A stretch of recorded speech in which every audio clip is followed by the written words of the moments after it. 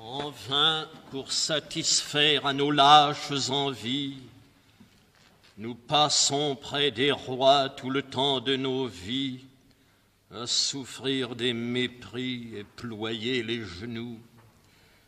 Ce qu'ils peuvent n'est rien, ils sont comme nous sommes, véritablement hommes, et meurent comme nous.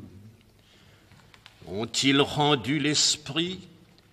Ce n'est plus que poussière que cette majesté si pompeuse et si fière, dont l'éclat orgueilleux étonne l'univers.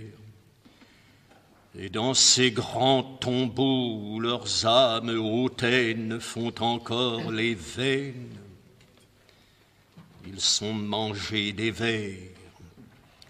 Là se perdent ces noms de maîtres de la terre, d'arbitres de la paix, de foudre de la guerre. Comme ils n'ont plus de sceptre, ils n'ont plus de flatteurs, et tombent avec eux d'une chute commune tous ceux que leur fortune faisait leurs serviteurs.